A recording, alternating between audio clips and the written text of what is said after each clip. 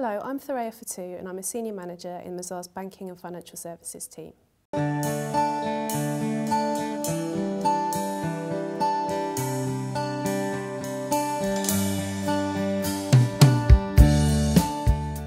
From the beginning of 2013, financial services firms in the UK will be subject to a new regulatory order.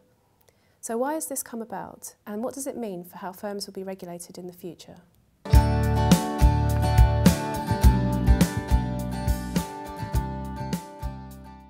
In response to the financial crisis, the government has proposed some radical changes. Under the new model, the Financial Services Authority will be disbanded and in its place three bodies will be set up. These are the Financial Policy Committee, the Prudential Regulatory Authority and the Financial Conduct Authority.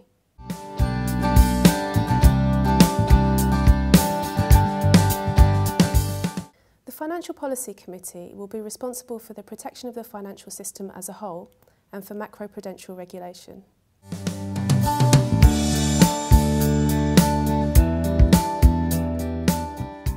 The Prudential Regulation Authority will supervise deposit takers, insurers and a small number of significant investment firms. This means that approximately 2,000 firms holding £9 trillion worth of assets will be subject to PRA oversight.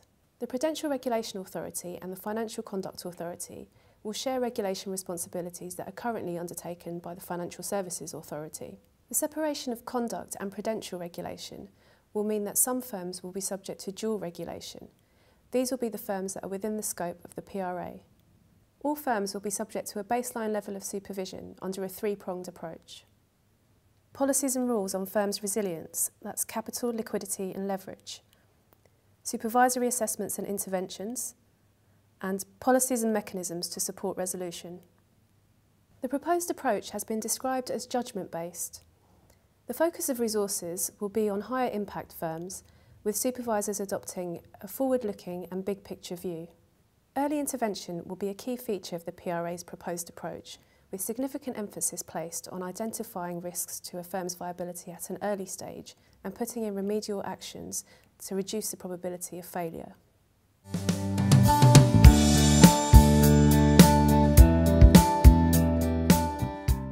Financial Conduct Authority will be responsible for the regulation of conduct in the retail and wholesale markets and the trading infrastructure that supports those markets. It will also be responsible for the prudential regulation of those firms that do not fall within the scope of the PRA.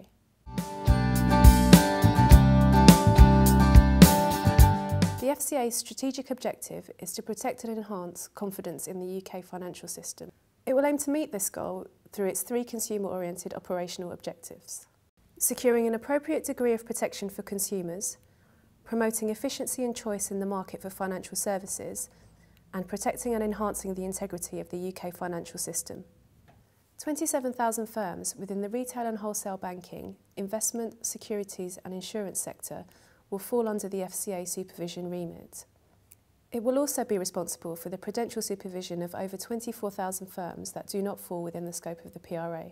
As with the PRA, the focus is on early intervention to prevent retail consumer detriment.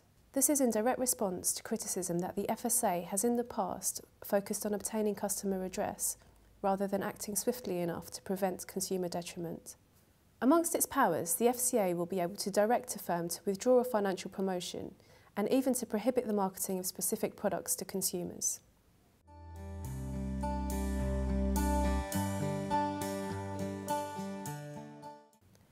The government's target is for the new regulatory model to be in place and operational by the end of 2012 or early 2013. In the meantime, the FSA will continue to work on the detailed designs for the FCA and the PRA. The current proposals give an overview of the future model.